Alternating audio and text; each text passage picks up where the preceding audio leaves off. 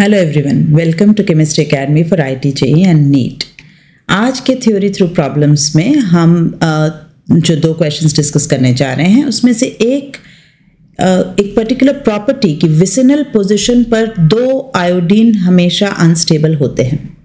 ये एक बहुत ही इंपॉर्टेंट प्रॉपर्टी है। आप ध्यान रखिए कि विसिनल पर दो आयोडीन अनस्टेबल होते हैं, पर दो ब्रोमिन दो क्लोरिन दो fluorine they are perfectly stable इनमें कुछ भी डिफरेंस उसमें जो भी हम आज आयोडीन के लिए बात करेंगे, ये ब्रोमिन क्लोरीन फ्लोरिन पे नहीं लगानी है। ठीक?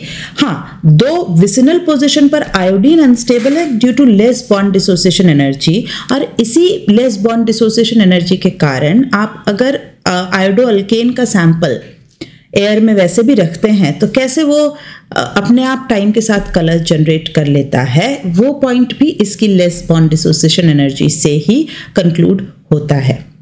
जेम डाइहलाइड अगर है तो देखिए आयोडोफॉर्म इज़ वेरी स्टेबल तो एक ही कार्बन पर three iodine stable but vicinal पर दो भी अनस्टेबल तो इस पॉइंट की तरफ़ इस पे क्वेश्चन क्योंकि आ जाते हैं इससे आपको अ, किस कैसे दो क्वेश्चन आ सकते हैं इसको हम यहाँ डिस्कस करने जा रहे हैं। But before I start let me remind you that if you haven't subscribed our channel yet do it right away If possible, do share it with your family, friends and students.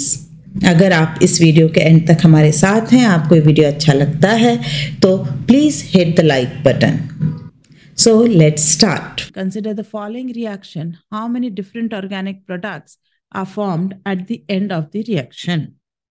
How many different मतलब stereo वगैरह की गिनती ज़रूर consider की जाएगी क्योंकि कह ही दिया डिफरेंट प्रोडक्ट्स कितने बन रहे हैं कहीं नहीं लिखा एक्सक्लूडिंग स्टीरियो तो ozonolysis in the presence of zinc and water तो ये नॉर्मल ओजोन लेसिस होगा यहाँ सी एच ओ यहाँ सी एच ओ ये चोंच तो एक तरफ़ थी तो एक ही तरफ़ रहेगी।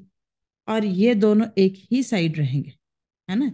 These both will be on the same side अगर मैं मान लूँ कि ये दोनों इस तरह से हमारी तरफ़ हैं, अगर, है ना?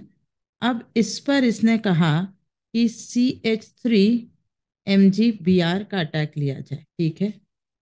अब जब ये दोनों का आपने निश्चित ही कर रखा है कि ऊपर ही होने हैं चॉइस है ही नहीं हमारे पास। और अब यहाँ पर C O H H C H three और यहाँ भी C H O H C H three बनेगा, ठीक? तो ये पोजीशन तो फिक्स ही है, इसको तो आप कुछ कर ही नहीं सकते। कौन सी पोजीशन की बात कर रही हूँ मैं? फिक्स्ड ये जो वेज पर आपने ग्रुप लगा रखे थे, ये तो फिक्स है। इन दोनों पर ही जो जो चेंजेस हो सकते हैं। इन दोनों पर क्या क्या केस बन सकते हैं? या तो ये दोनों आर में बने हैं, है ना? करेक्ट या ये दोनों एस कॉन्फ़िगरेशन में बने हैं। That is one possibility correct ये बन सकता है। तो ये दोनों आर और आर एस और एस में बने, ये दोनों तो अलग अलग केस हुए, क्योंकि ये आपस में अभी कहीं भी कोई मिरर इमेज या सुपर इम्पोजिबिलिटी हमें देखने को नहीं मिलेगी, है ना? ये दोनों आपस में एक दूसरे के एक तरह से इनैंशोमर साबित होंगे। एक केस हो सकता है कि ये आर एस हो या ये एस आर हो, ये पॉसिबिलिटी है। पर ये जो केस है ना, जब एक आर और एक एस हुआ तो यहाँ पर मिरर इमेज बन जाएँगे एक दूसरे के। आर की इमेज एस और ये दोनों वेज पर हैं ही तो ये तो एक ही कंसिडर होंगे। They can not be considered as two एक ये एक ये और एक ये। तो टोटल जो इसमें हमें प्रोडक्ट लग रहा है टोटल प्रोडक्ट जो इसके दिख रहे हैं, वो थ्री प्रोडक्ट आ रहे हैं। ठीक? हाँ ये आपको ध्यान रखना है कि आपको ये वेज और वेज पर ही रखने हैं। They should not change a position to wedge dash और डैश वेज कारण ये एक ही साइड से ओरिजिनल इनकी जो पोजिशनिंग है, जो हमें कंपाउंड में दे रखी है, वो एक ही साइड दे रखी है।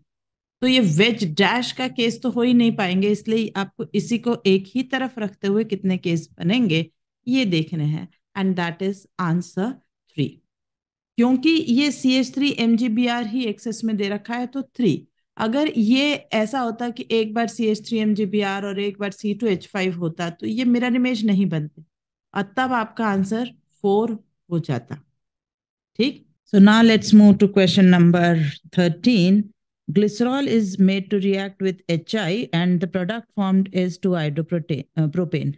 Asked number of moles of HI consumed per mole of glycerol to form the above product. Let it be P, and we have to find the value of this P.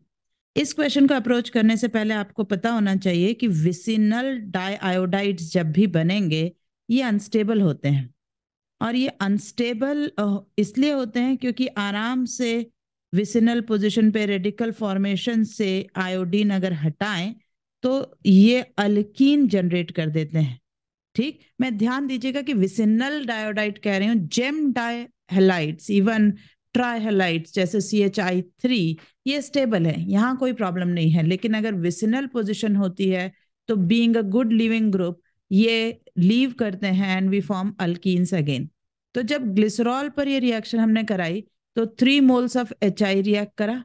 Three moles of H I react करने से C H two I C H I and C H two I बन गया। अब vicinal position पर से ये दो iodine हटे तो हमारे पास अलाइल आयोडाइड प्रोडक्ट बन जाएगा। बट अलाइल आयोडाइड में तो डबल बॉन्ड है और डबल बॉन्ड पर एच आई इलेक्ट्रोफिलिक एडिशन दे सकता है, इसलिए हमारे पास ये बन गया one comma two diiodopropane. फिर से हम ये आयोडीन हटा सकते हैं और ये C H two double bond C H C H three propene तैयार हो गया। प्रोपीन पर दोबारा अगर एच आई का एडिशन किया जाए तो हमारे पास टू आयोडो प्रोपेन बन गया। अब हम काउंट करें तो थ्री फोर एंड ये फाइव है ना? तो per mole of glycerol five moles of HI जो है, वो कंज्यूम होते हुए नज़र आ रहे हैं।